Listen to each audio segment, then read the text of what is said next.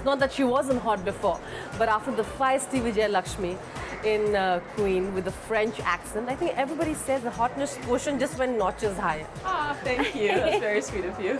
but we have people been coming and telling you that, you know, they find you even more desirable after that role?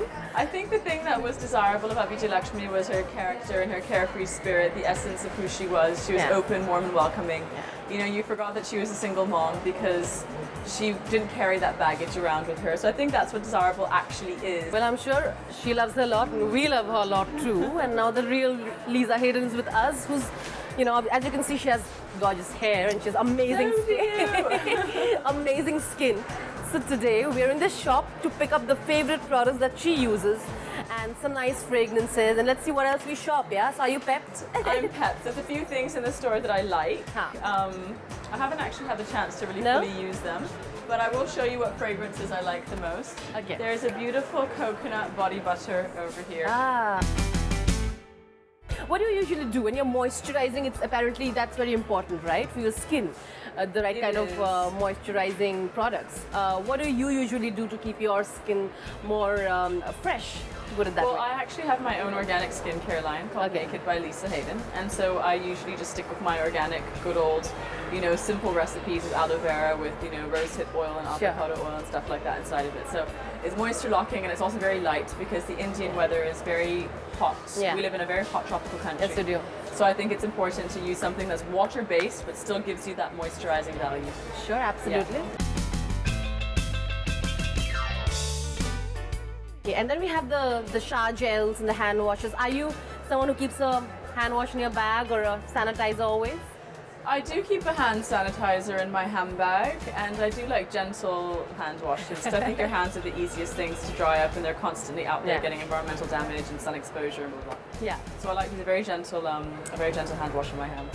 So now we want to ask Lisa, what are five things that you'll find in Lisa's bag if you ask her to open it? Five things that you can't leave home without. In the beauty category, lip balm, Okay. mascara, Okay. perfume, Okay. Hand sanitizer. Okay. Is that beauty? And a sunscreen. Definitely a sunscreen. Yes. Five handy things and Five definitely the most important things a Yes. woman should carry. This is the fragrance segment. Anything that Yes. you think was interesting. I mean, I out. love I love floral fragrances. Yeah. To me, I um I had a smell of this one earlier and I loved it. It's really fresh. It almost smells like garden flowers. It is. Smell it. It's beautiful. It's called Delight. It's amazing. And it's got is. grapefruit, bergamot, bergamot, petitgrain, and vanilla. And it's not very strong. No, it's give you that not. It's Yeah. got that bergamoty, Yeah.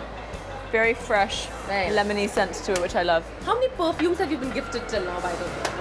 Not too many. I'm not good at receiving perfumes as No. gifts. Usually, when I actually when I get, I've been gifted a lot of perfumes, but it's usually it ends up that I end up giving them away because I because I, know what I like to wear on myself, and perfume is a very specific thing. Well, that was great. We came to know kind of the things that she likes. If uh, while ending, we'd like to ask you a few tips that you think uh, people should do in summer to keep their uh, selves fresh and you know the skin great.